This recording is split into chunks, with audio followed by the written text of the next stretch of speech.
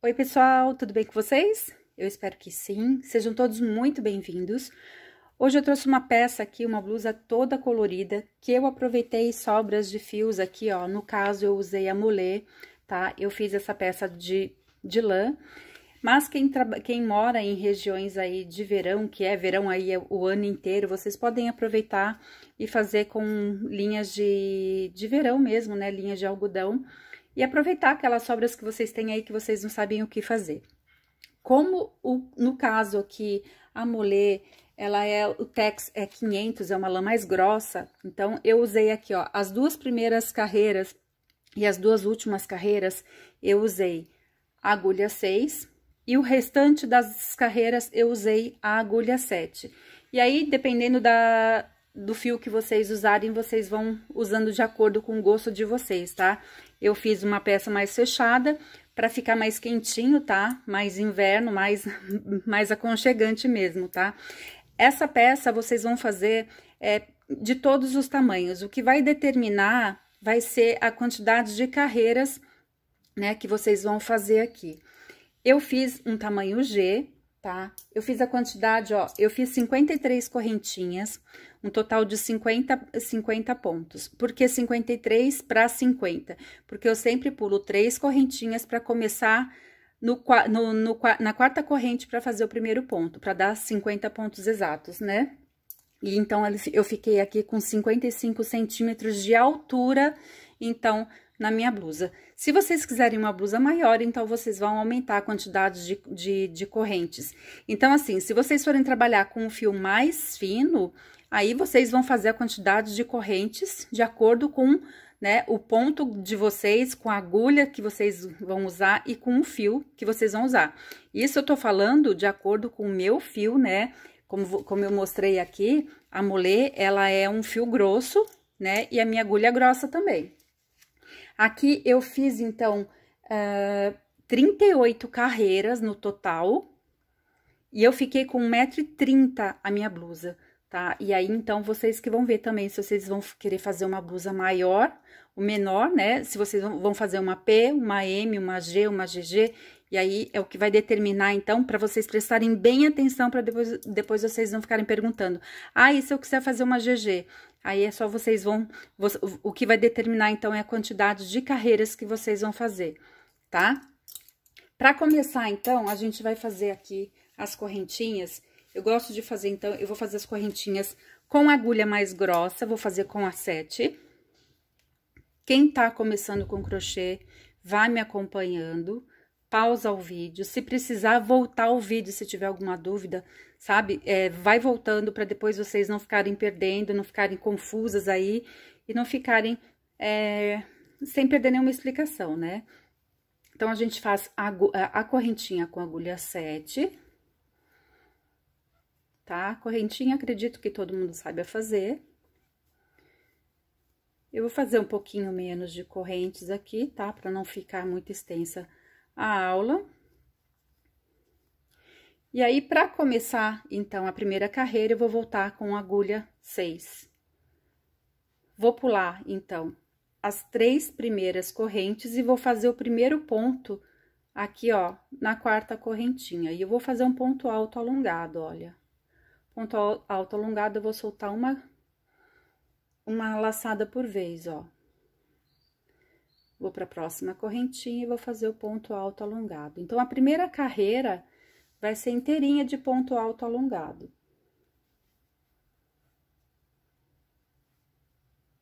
Se vocês quiserem trabalhar só o ponto alto normal, podem trabalhar o ponto alto normal. Tem gente que não gosta de trabalhar o ponto alto alongado. E pode fazer o ponto alto normal também, tá? É que o ponto alto alongado, eu acho que foi até uma, uma escrita que falou assim, ah, ponto alto alongado, Kátia, é viciante. Realmente, ele é viciante. Ele é bem econômico, gente, ele é muito econômico. Vocês vão ver a diferença depois que vocês começarem a fazer. Tá? Então, a primeira carreira inteirinha, vocês vão seguir só fazendo ponto alto alongado. Então, eu cheguei aqui na última correntinha, vou virar o trabalho, vou subir quatro correntes quatro correntinhas, vou pular o primeiro ponto Vou trabalhar o segundo aqui, vou fazer o ponto alto alongado, ó. Faço uma correntinha, pulo o primeiro ponto e trabalho o segundo e faço o ponto alto alongado, ó. Solto uma laçada aqui por vez, né? Faço uma corrente, pulo um ponto e faço o ponto alto alongado aqui no próximo. E vou fazendo assim, ó. Uma correntinha, pulo um ponto e venho aqui pro próximo e faço ponto alto alongado. Então, aqui eu tenho um, dois, três, quatro, eu preciso de seis, ó. Um, uma correntinha, pulo um ponto, venho pro próximo e faço ponto alto alongado. Então, aqui já tenho um, dois, três, quatro, cinco, vou fazer o último. Uma correntinha, pulo um ponto, fiz o último aqui, ó, ponto alto alongado. Agora, eu vou fazer uma corrente, vou pular esse ponto aqui, venho para esse segundo, vou fazer o ponto alto alongado, dou uma laçada e agora eu vou voltar a trabalhar nesse ponto que eu pulei e vou fazer o ponto alto alongado, ó. Cuida com a extensão da agulha aqui, tá, ó. A agulha tem que ficar na diagonal aqui certinha, não pode repuxar, nem ficar muito largo nem muito apertado aqui, tá? Pro ponto não ficar torto, ó. E aí, eu solto uma laçada por vez. E aí, eu fiz um X. Só que ele fica diferente de quando a gente faz o ponto alto normal, o X, né? O ponto cruzado com ponto alto normal. Então, ele vai ficar um cruzadinho aqui embaixo. Ele fica diferente, por isso que, né? Ele, o, o resultado é diferente com ponto alto alongado. Ó, dou a laçada, pulo o primeiro, venho pro segundo e faço ponto alto alongado. Dou a laçada, volto no ponto que eu pulei, faço ponto alto, ó, cuida com a extensão da agulha, aqui, do, do fio aqui, né? Solto uma laçada aqui por vez. E eu ainda tô trabalhando com agulha 6, tá? Ó. Segunda carreira, né? E aí, eu vou seguindo, ó. Pulo o primeiro, trabalho o segundo. E faço ponto alto alongado. Volto no ponto que eu pulei e faço o ponto cruzadinho aqui. E vou fazendo isso até o final. Chegando no final aqui, vocês vão ver que vai ter essa correntinha aqui que a gente, é, aquelas três correntinhas que a gente começou, né? Ó, a gente tem que fazer um ponto aqui, ó.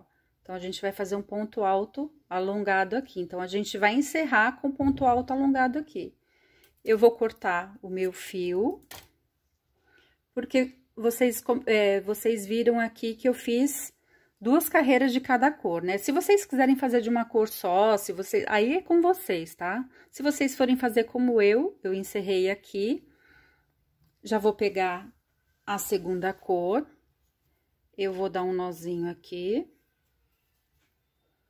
Tem vários, várias formas da gente iniciar é, a troca de cor, tá? Nesse caso, eu vou fazer assim, ó. Já venho aqui, ó, eu virei o trabalho, onde eu terminei, tá? Porque daí todos os meus nozinhos vão ficar todos para um lado, para depois eu arrematar direitinho, tá? Ó, eu venho aqui. Ah, já ia esquecendo de mostrar para vocês. Agora, eu vou pegar a agulha 7, tá? Se vocês quiserem continuar com a mesma agulha, não tem problema. Eu gosto de coisa mais larga, né? Eu gosto de coisa grande. Então, eu, eu, eu, eu troquei a agulha aqui, ó. Então, agora eu já vou subir aqui, ó, três correntinhas, tá? E agora, eu vou pular esse primeiro ponto, vou trabalhar o segundo. Vou fazer o ponto alto alongado. E volto pro ponto que eu pulei aqui e faço o ponto cruzadinho. Tá? Então, fica assim, ó. Pulo o primeiro, trabalho o segundo e faço aqui o ponto alto alongado. Volto no ponto que eu pulei. E faço aqui o ponto cruzado. Não é difícil, né? Não tem segredo, é bem fácil. Vocês podem aproveitar todas as sobras, as sobras aí. Se vocês forem fazer com linhas de algodão, vocês podem misturar a Camila com a Anne. É só vocês verem as, os fios aí que vocês têm, que tem a, a espessura mais ou menos igual, né? Vocês não vão misturar uma, um fio 2 com um fio 4 que vai ficar feio, né? Não vai ter, ela vai ficar bem, bem estranha mesmo. Mas se elas tiverem praticamente a mesma espessura, gente, vai ficar legal. E vocês aproveitam todas as sobras aí, vai ficar uma peça bem, bem bacana. Pra vocês usarem à noite, em cima de um vestido, fica super bonito, tá? E aqui é só vocês seguirem, tá? Eu vou seguir aqui até chegar naquela parte de cima, onde a gente fez só o ponto alto alongado, tá? Então, eu cheguei aqui no último ponto cruzado, eu vou fazer a correntinha para separar aqui, ó, e vou fazer o ponto alto, ó, cheguei aqui no, na, no ponto alto alongado sozinho, né? Então, eu vou trabalhar, porque essa parte aqui vai ficar a parte de cima, tá? A parte em cima onde a gente vai fazer o decote, né? onde a gente vai costurar em cima da... A, a parte de cima da blusa, né? Ó, uma correntinha, pula o espacinho, né, da, da correntinha e trabalha sempre em cima do próprio ponto alongado, ó. É bem fácil, vocês vão ver que rende bem. Se vocês forem traba trabalhar com lã, vocês vão ver que rende bem. Tem muita gente que gosta de trabalhar com barbante, é, dependendo do, barbante, eu não gosto, tem muitos que soltam muito fiapinho, eu não gosto de trabalhar, realmente não gosto, eu acho que vale só para trabalhar com tapete, né, e olhe lá, mas é para roupa assim, dá para fazer com barroco, fica, fica, essa peça assim fica, fica até, até bonita, tá? Eu acho que fica bem bonito. Vocês podem aproveitar aí, quem tiver o barroco em casa, até o, até o número 4, tá, tá, gente? O 6 eu não recomendo. Ó, quando vocês chegarem nesse último, nesse último ponto aqui, que a gente trabalhou as quatro correntinhas, a gente vai ter que pular uma correntinha aqui e trabalhar na terceira, sempre para fazer o último ponto, tá?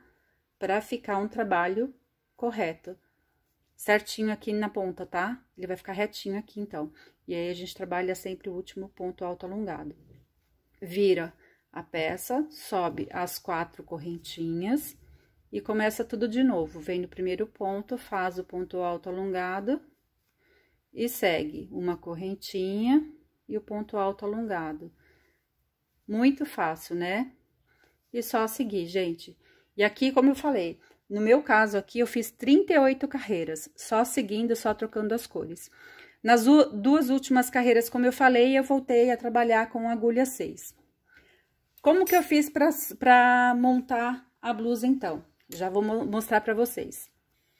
Antes de montar, gente, eu esqueci de falar uma coisa. Como a gente começa com a carreira fechada, né, de pontos altos alongados, então, quando vocês forem fazer a última carreira, o que que a gente vai fazer? A gente vai fazer a última carreira fechada também, tá? Ó, então, eu vou voltar com a agulha 6, tá? Então, eu vou fechar a minha carreira aqui, eu vou subir três correntinhas e todos os espaços aqui eu vou fazer ponto alto alongado. Onde a gente tinha correntinha, eu vou trabalhar ponto alto alongado. E o ponto, a gente faz o ponto alto alongado. Correntinha, eu faço o ponto alto alongado. Então, eu fecho a carreira inteirinha como se fosse para ficar igualzinha a primeira carreira que a gente trabalhou, tá? Então, a gente começa com uma carreira fechada e termina com a carreira fechada, tá? Só para ficar certinho aqui que eu tinha esquecido de falar para vocês, tá? Então, a gente vai fechar tudinho, ó. Todo, onde tem a correntinha, a gente faz o ponto, e onde tem o ponto, a gente faz o ponto também, certo? E aí sim, depois a gente, e aí sim a gente vai fechar, então, a blusa. Então, agora a gente coloca as duas peças uma sobre a outra, né, certinho. O que que eu vou fazer? eu separei aqui, ó, 35 centímetros para minha cava, né? Para passar aqui o pescoço. Tem gente que gosta de uma cava, né? Aqui a parte da gola mais larga, que gosta, né? A, a, que caia mais sobre o ombro. Tem gente que gosta mais fechada, e aí depende de vocês. Para mim, aqui eu deixei 35 centímetros. E agora, para os dois lados, aí eu vou costurar, eu vou fazer a minha, a minha emenda aqui com aquela carreira de pontos baixos. Então, eu peguei a agulha 6, juntando aqui, ó, certinho, lado, as duas partes, né? As duas pontas bem certinho aqui, eu vou fazer, então, a carreira de pontos baixos. Eu peguei a, a agulha, a, a lampreta, né? Pra sobressair mais, e aí eu vou fazer, ó, a carreira todinha de pontos baixos. Cada, como eu tô, como eu tô na diagonal aqui, ó, os pontos, a, a, as carreiras, né? Eu vou fazer, em cada carreira, eu vou fazer três pontos. Três pontos baixos para dar certinho, para não ficar repuxando aqui a minha a minha emenda. E nesse, e nesse pontinho aqui, ó, eu vou colocar um ponto também porque a gente não tá fazendo a emenda em cima de pontos, a gente tá fazendo a emenda em cima de carreiras, né? Então, como é um ponto alto alongado, então, três, três pontos é o suficiente para dar certinho aqui a quantidade, tá? Então, é só seguindo aqui, eu vou seguir, então, aqui, se vocês quiserem colocar aqui um marcador, uma linha, então, é só seguir aqui. Se vocês quiserem fazer com agulha de tapeçaria, podem fazer. Nesse caso, eu prefiro mesmo fazer com agulha de, de, de crochê mesmo, para fazer essa, essa parte aqui da emenda, para ficar mais bonito. Porque é uma blusa mais colorida, né? Então, dá pra fazer, dá pra deixar essa parte mais visível. Quem tá chegando aqui no canal, coloca aqui qual a peça que vocês querem que eu faça. Tem muita gente pedindo peças de verão. Gente, tem muita coisa de verão aqui no canal, tá? É só vocês buscarem aqui, tem muitos, tem muitos tops, tem muitos croppeds. Se vocês buscarem aqui no canal, vocês vão ver que tem bastante coisa aqui de verão, tá? Tem bastante peça de inverno também, mas eu vou trazendo de acordo com os pedidos de vocês, tá? Ó, então, depois que vocês fizerem aqui em cima, essas duas partes de cima, né, dos dois lados, aqui embaixo, na parte de baixo, vocês vão fazer só 10 centímetros para cada lado, tá? Vocês vão emendar só 10 centímetros para cada lado. E essa parte da manga aqui fica toda aberta. Gente, é super fácil, super simples. Eu espero que vocês tenham gostado, gente, e até o próximo vídeo. Não esqueçam, qualquer dúvida, coloquem aqui nos comentários, tá? Um beijo, até o próximo vídeo, gente. Tchau!